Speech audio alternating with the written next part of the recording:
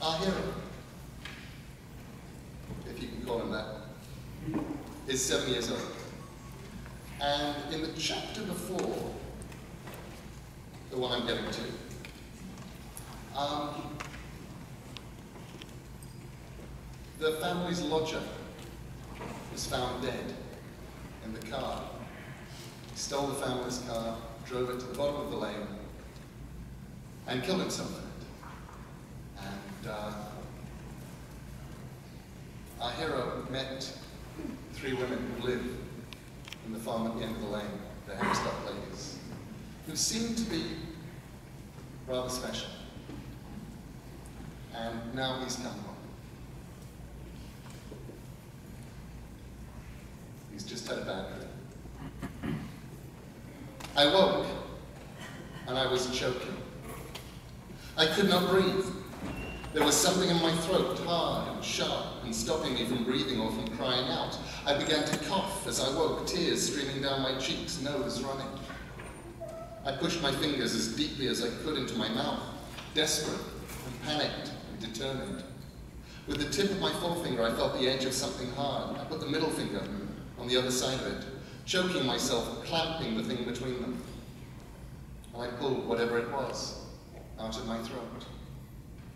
I gasped for breath, and then I half vomited onto my bed sheets, threw up a clear drool flecked with blood from where the thing had cut my throat as I pulled it out. I did not look at the thing. It was tight in my hands, slimy with my saliva and my phlegm. I did not want to look at it. I did not want it to exist, the bridge between my dream and the waking world.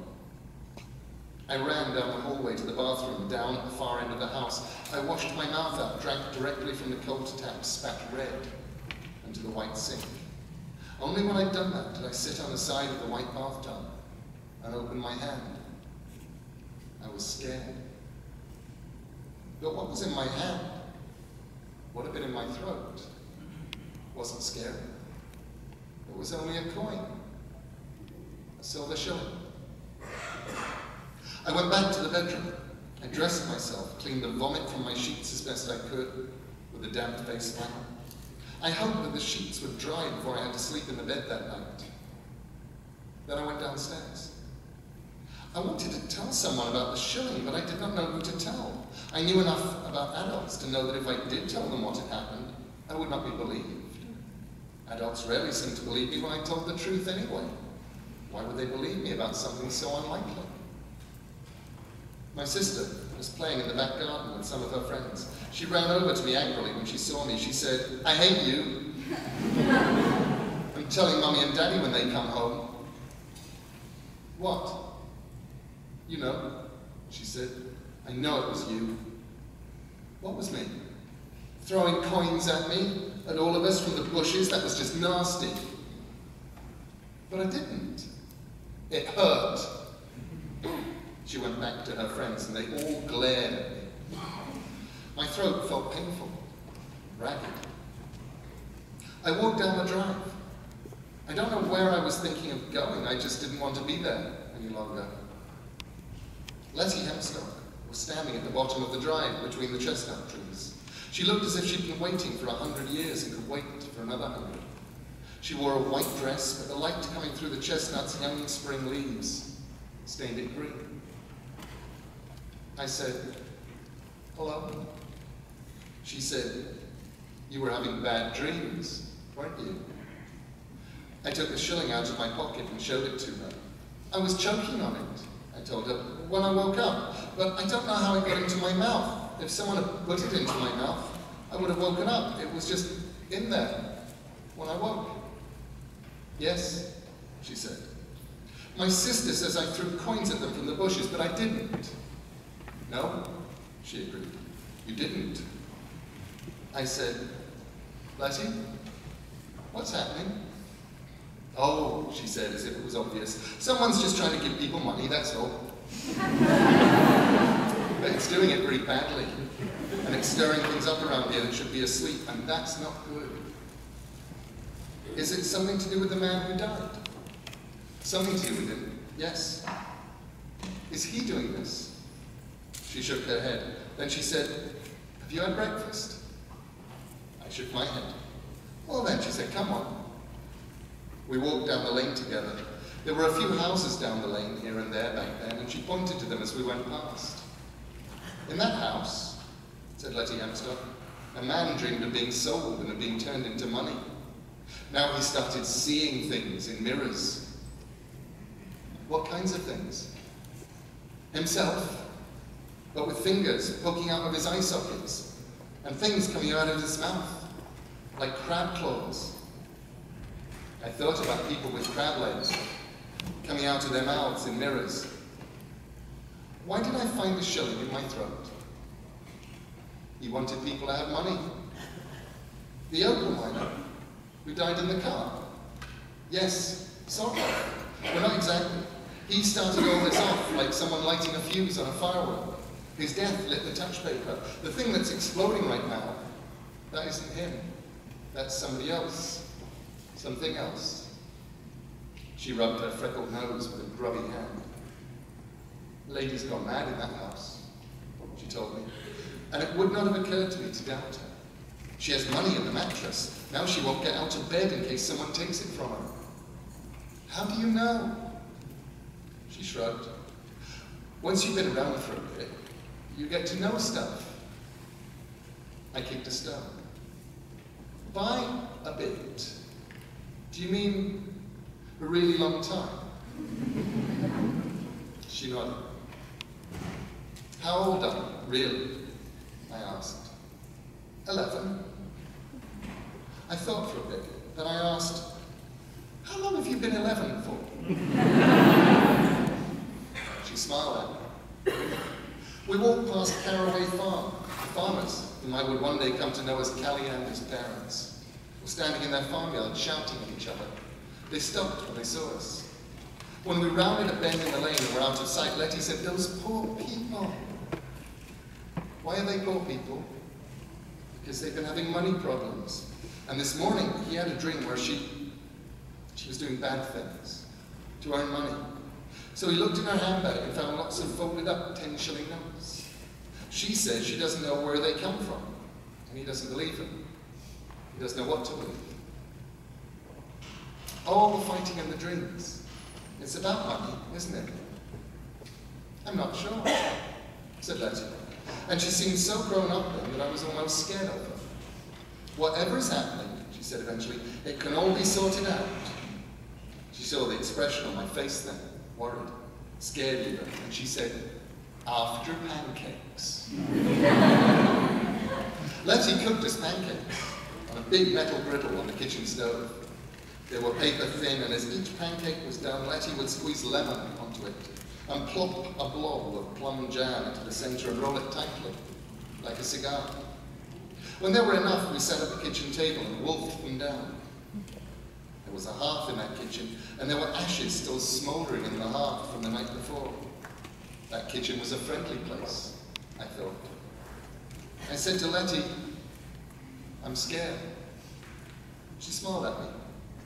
I'll make sure you're safe, I promise. I'm not scared. I was still scared, but not as much. It's just scary. I said, I promise, said Letty Hempstock. I won't let you be hurt. Hurt? Said a high, cracked voice. Who's hurt? What's been hurt? Why would anybody be hurt? It was old Mrs. Hempstock, her apron held between her hands, and in the hollow of the apron so many daffodils that the light reflected up from them transformed her face to gold, and the kitchen seemed bathed in yellow light. Letty said, something's causing trouble. It's giving people money in their dreams, in real life. She showed the old lady my shilling. My friend found himself choking on this shilling when he woke up this morning. Old Mrs. Hempstock put her apron on the kitchen table, rapidly moved the daffodils off the cloth and onto the wood. Then she took the shilling from Letty. She squinted at it, sniffed it, rubbed at it, listened to it, or put it to her ear, at any rate, then touched it with the tip of her purple tongue. It's new, she said at last. It says 1912 on it, but it didn't exist yesterday. Letty said, I knew there was something funny about it. I looked up at old Mrs. Hempstock. How do you know? Good question, love. It's electron decay, mostly. you have to look at things closely to see the electrons. They're the little dinky ones that look like tiny smiles. The neutrons are the grey ones that look like frowns. The electrons were all a bit too smiley for 1912, so then I checked the sides of the letters and the old king's head, and everything was a tad too crisp and sharp, even where they were worn. It was as if they'd been made to be worn. You must have very good eyesight, I told her. I was impressed. She gave me back the coin. Not as good as it once was, but then when you get to be my age, your eyesight won't be as sharp as it once was neither. Let out a guffaw, as if she'd said something very funny. How old is that? Letty looked at me and I was worried that I'd said something rude. Sometimes adults didn't like to be asked their ages, and sometimes they did. In my experience, old people did. They were proud of their ages. Mrs. Wollery was 77 and Mr. Wollery was 89 and they liked telling us how old they were. Old Mrs. Hempstock went over to a cupboard and took out several colourful vases.